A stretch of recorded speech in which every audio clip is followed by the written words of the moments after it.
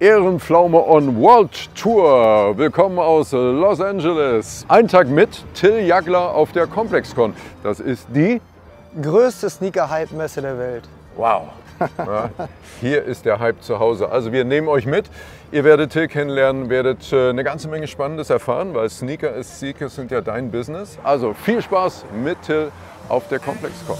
What's the point trying to be like Mike when I'm already me? A feeling indeed Welcome to the ComplexCon. Let's go.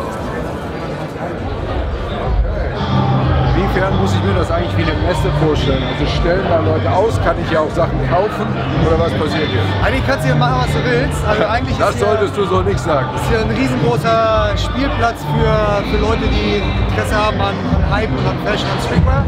Also hier, hier kann man Sachen kaufen, hier kann man Sachen gewinnen, hier kann man an Gewinnspielen teilnehmen. Die ComplexCon, ein Riesenspielplatz, auch für Erwachsene.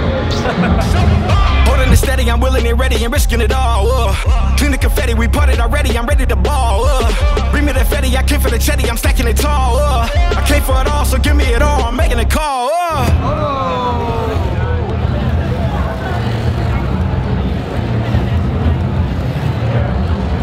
Second lap, here we go.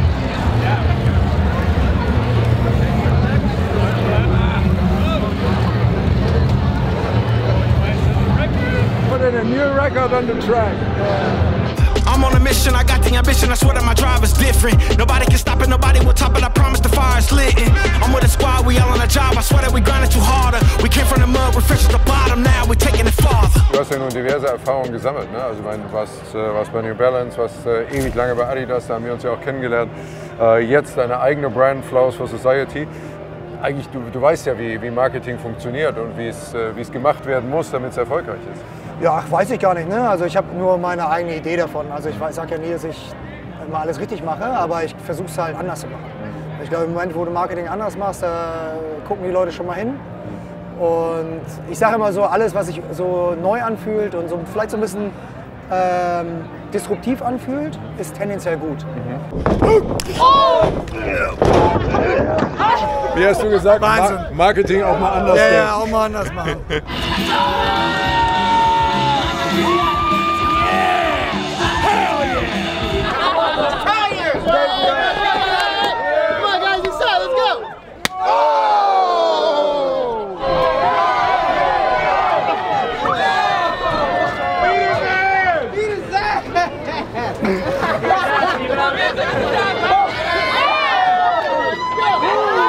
Wer braucht noch Messestände, ne? Ja.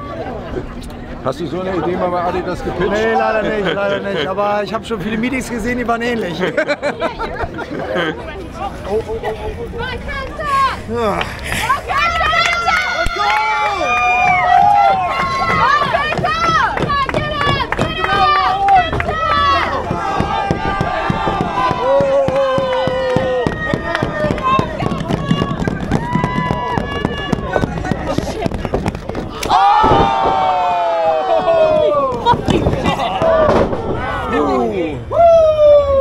Ist auf jeden Fall nicht für jeden geeignet. Aber es waren definitiv zu viele Akten. Wahnsinn. Und ist immer noch nicht. Man weiß auch Jetzt gar mal, nicht. das ist jetzt, jetzt live den.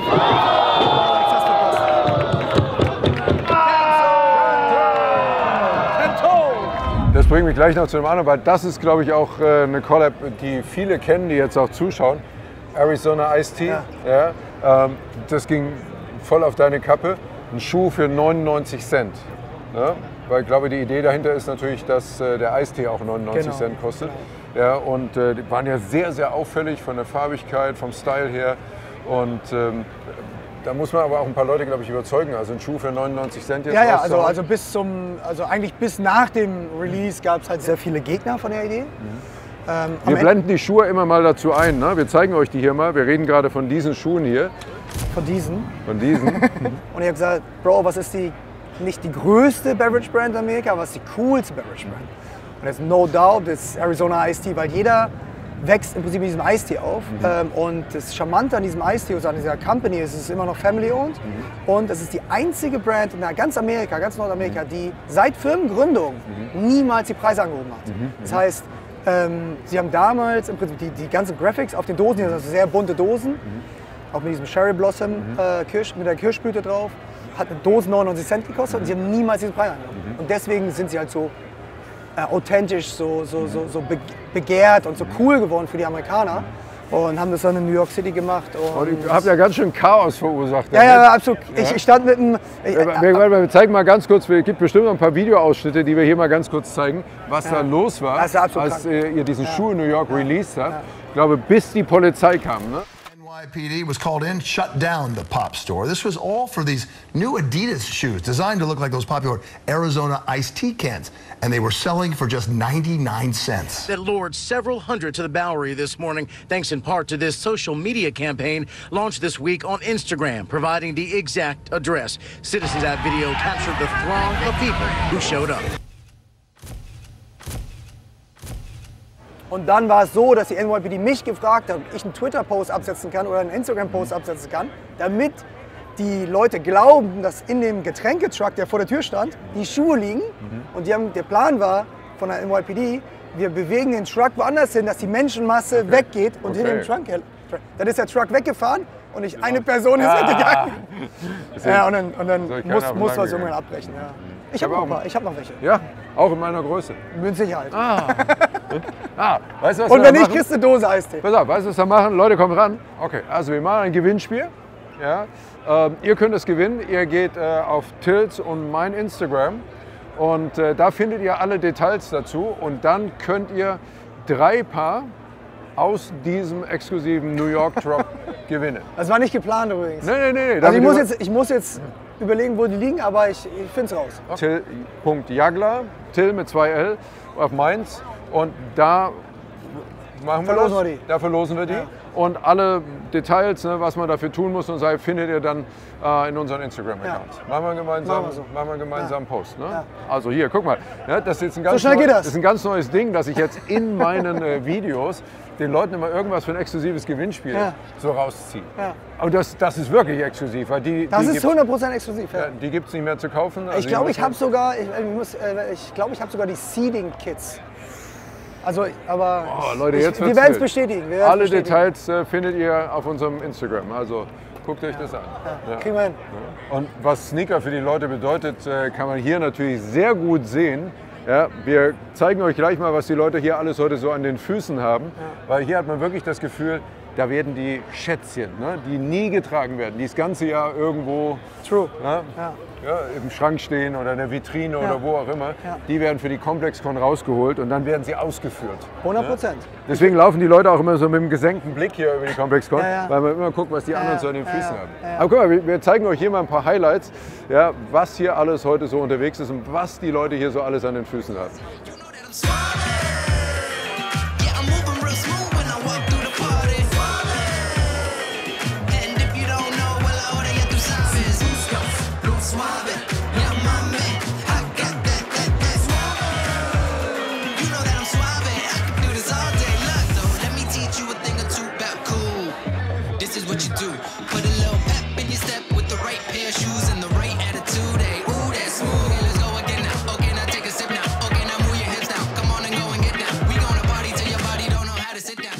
Coolen Schuh zu haben ist ja das eine, aber darum, einen Hype zu kreieren, aufzubauen, oder kann man das gar nicht, entsteht der von außen? Ja, gibt es also beides. Ne? Also ähm, es gibt halt Schuhe einfach, die poppen einfach auf, weil sie zur richtigen Zeit am richtigen Ort waren, äh, getragen von der richtigen Person. Ähm, dann explodiert es. Also es gab ja auch viele, viele Referenzen, auch in Adidas-Sphäre, eigentlich bei jeder Brand.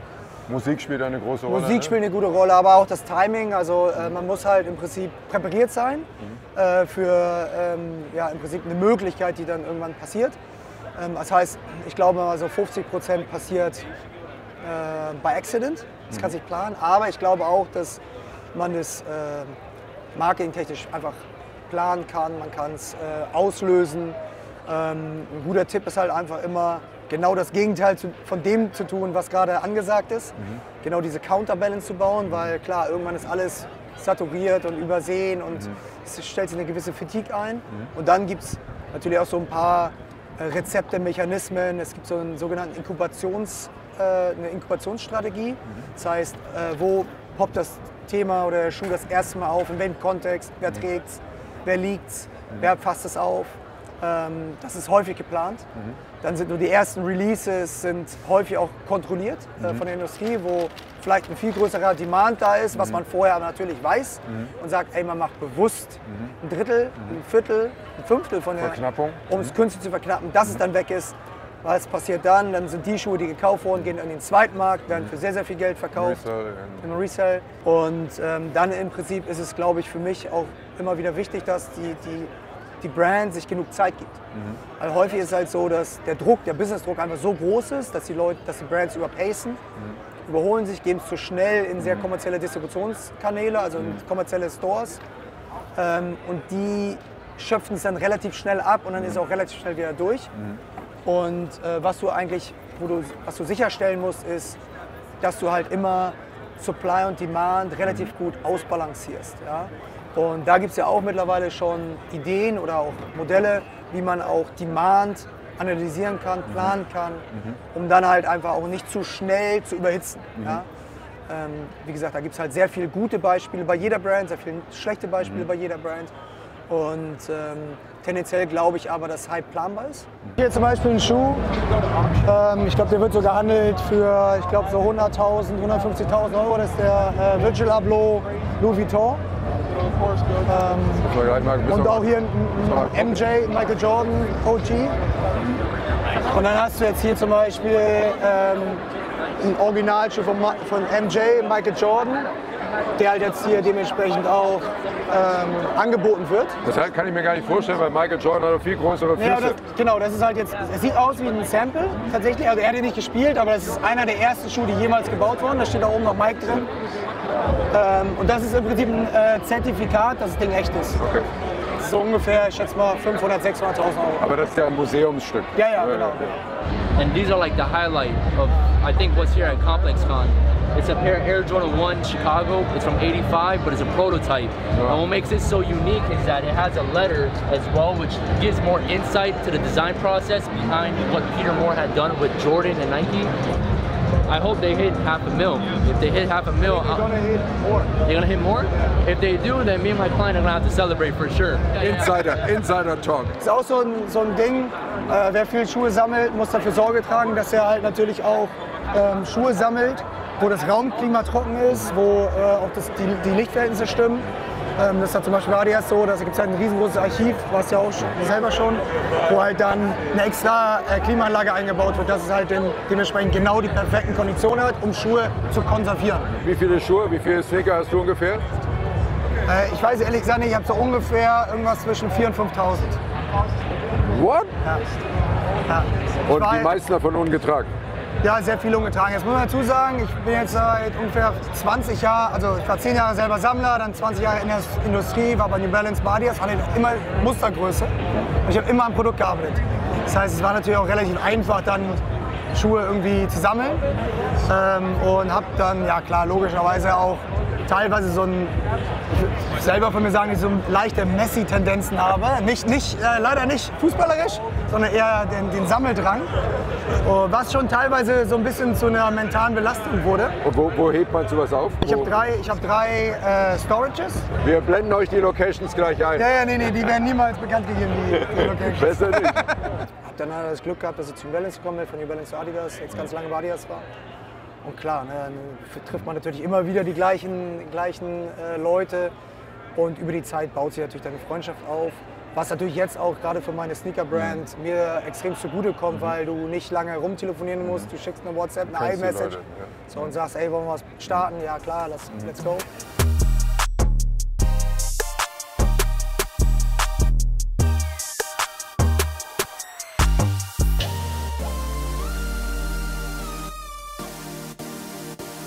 Anderthalb, anderthalb Jahre bin ich raus, Buddy.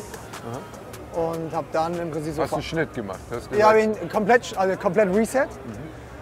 Ähm, also im Prinzip äh, Arbeit nicht mehr, also Arbeit gekündigt, ähm, Wohnung aufgegeben, äh, kein Office mehr, kein Auto mehr.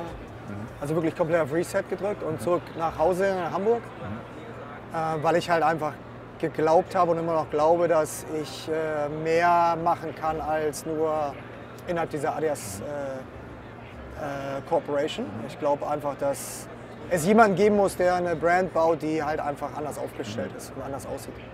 Und dann kam Flowers for Society. Genau, Flowers for Society. Und wir wollen halt mit Flowers im Prinzip alles anders machen, als, als es die Brands heute machen.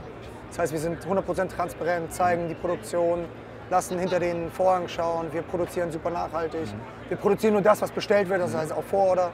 Äh, wir haben äh, keine Animal Leather äh, äh, ähm, Executions, also bei uns gibt es keine ähm, Tierleder-Versionen. Und wir müssen ja, und vielleicht erstmal ganz kurz dazwischen sagen, und dabei seid ihr super stylisch unterwegs. Also wir können ja hier gerade mal, das sind ja unter anderem, es Ja. gibt drei Modelle jetzt aktuell. Es gibt ja die for Society Community, Ja. weil mit dem OJ, mit dem Grauen, Genau. ne, konnte man, hat man ja automatisch ein NFT bekommen. Genau. Und das ist der Schlüssel zur Community. Genau, also im Endeffekt die, die Herangehensweise, wo es alles herkommt, war, als ich angefangen habe, Sneaker zu sammeln, ging es um das Zusammengehörigkeitsgefühl. Es ging um dieses romantische Gefühl, dass man jemanden irgendwo in einem Forum kennengelernt hat und man sich jetzt physisch das erste Mal trifft. In Berlin, in London, in Paris, wherever, oder in New York. Und man hat philosophiert. Das heißt, es ging gar nicht so um, den, um das Produkt, sondern es ging vielmehr um dieses, dieses Zusammengehörigkeitsgefühl. Und das ist natürlich 2015, 2016, 2017, weil ja sehr viele Schuhe gekauft und wiederverkauft wurden aus Selbstoptimierungsgründen. Also jeder wollte halt einen, einen schnellen Euro verdienen. Ähm, dadurch ist diese ganze äh, schöne Romantik im Prinzip gestorben. Und die Idee jetzt mit Flowers Society ist, dass wir genau das zurückbringen. Also deswegen haben wir auch gesagt, jeder, der einen Schuh kauft, bekommt im Prinzip diesen digitalen Schlüssel in Form eines NFTs. Also erstmal ist es natürlich ähm, äh, authenticated, ja, dass es echt ist. Ähm, was für uns aber viel wichtiger ist, dass man halt genau diese Leute, die uns von Anfang an die, äh, die Stange gehalten haben, beziehungsweise uns supportet haben, dass wir die immer wieder incentivieren und sie immer wieder Ja, die haben gewisse, ja, gewisse, belohnen die halt haben einfach, gewisse ne? Vorteile. Damit, Genau, ne? gewisse Vorteile. Sind ein so. bisschen früher dran, wenn was Neues kommt. Genau. Oder gibt manche vielleicht auch Genau. etwas Exklusives. Und das funktioniert halt super, weil die Leute halt ähm, ja, einfach sehr, sehr stolz drauf sind, Teil der Community zu sein, äh, uns halt extrem viel helfen. Was wir eigentlich machen wollen, ist, wir wollen unser Netzwerk, unser Setup, unsere Infrastruktur, weil keiner kann Sneaker produzieren, aber wir können es als eine der wenigen weltweit. Wir wollen es öffnen für Kreative, für äh, Leute aus der Musikszene, Leute aus der Kunstszene, Leute aus der Customization-Szene, ähm, Leute aus der Mediaszene. Also wenn Ähm, ich jetzt zum Beispiel sagen möchte, ich möchte so ein in Ehrenpflaume Farbe und meinem Style, könnt ihr mir den in kürzester Zeit machen. Ja, ja, das, das sowieso. Ja, muss das, kein Logo das drauf, sowieso. sondern wir reden von der genau, Farbigkeit Genau, das sowieso. Was Style. wir natürlich machen, wir, wir suchen natürlich, ich meine, du hast es ja eh schon geschafft, weil du 30 Jahre schon im Business bist, aber was wir halt wollen, wir wollen halt genau diese Plattform werden für junge Creatives, Mhm. die halt noch nicht das Netzwerk haben, das noch nicht geschafft haben und die vielleicht auch keine Kollaborationen kriegen würden mit diesen großen Major Mhm. Brands, weil sie einfach noch nicht groß genug sind, aber sie sind halt so talentiert. Und das ist so im Prinzip unsere, unsere, unsere Vision, dass wir uns öffnen für Leute, die vielleicht nicht, noch nicht im Rampenlicht stehen. Aber wir wollen ihnen halt helfen, dahin zu kommen. Okay. Aber ich könnte, ich könnte, wenn ich wollte, einen Schuh Du könntest, machen. ich baue dir einen Ehrenflammenschuh. Ihr könnt ja mal in die Kommentare schreiben, ob ihr das feiern würdet, ob ihr sowas seht. Na, also nur einen für mich, Ja, ja. geht auch. Ja, ne? klar, aber, klar. Ne? Also dann, das ist dann ein echtes Unikat. Aber du musst immer zwei haben. Äh, One to rock, one to stock. Das ist Ja, ist ja Klassiker. alte Sneaker-Regel. Alte Regel.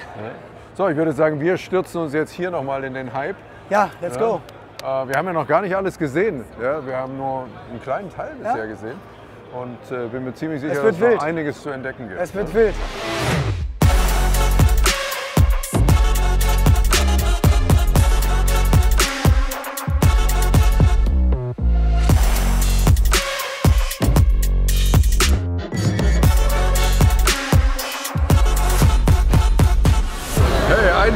Jagler auf der ComplexCon. Ich muss sagen, war nicht ganz unanstrengend, hatte nichts mit dir zu tun, aber diese ganzen Eindrücke hier, das ist krass. Ja, aber das ist äh, genau der Grund, warum wir das alles lieben. Ne? Also diese Vielfalt, diese, diese, diese, diese, ja, diese Gefühle, diese Energie, das ist halt natürlich, das findest du nicht irgendwo anders. Und ich war mega froh, dass ihr hier wart, hat mir super viel Spaß gemacht. Ich hoffe, ihr kommt wieder. Ja, du hast uns ja ein bisschen in deine Welt entführt, also hast uns ja viel Spannendes erzählt. Vielen Dank dafür, auf jeden Fall. Ne? Also ich hoffe, euch hat Spaß gemacht und wir konnten euch natürlich auch ein paar interessante Eindrücke vermitteln. Ja, danke fürs Zuschauen und denkt daran, ne? abonniert Tills Kanäle, Instagram, Till Jagler, Flowers for Society. Ja, ich äh, schreibe das alles nochmal in die Videobeschreibung rein. Denkt an das Gewinnspiel. Ja, gibt es auf unseren Instagram-Kanälen. Ja, könnt ihr was Tolles gewinnen. Willst du noch ein paar Flowers for Society Schuhe oben drauf packen? Ja, ey, warum nicht? Ja, also wir haben jetzt im Prinzip den White Lily, den Kai gerade am Fuß trägt. Der kommt nächste Woche oder übernächste Woche auch nach Deutschland. Und ja, Den packen wir noch drauf. würde ich sagen, verlosen wir auch nochmal drei Paar. Noch drei Paar, okay. Ja. Also dreimal Arizona Iced Tea, das ist schon äh, sehr exklusiv. Und drei White Lily Ja. äh, von der Flowers for Society Collection. Mensch und Mensch. Also es lohnt sich hier zuzuschauen, abonnieren Ehrenpflaume und äh, bleibt stabil. Wir sehen uns und lasst einen Daumen nach oben da. Ja? Bis zum nächsten Mal. Ciao.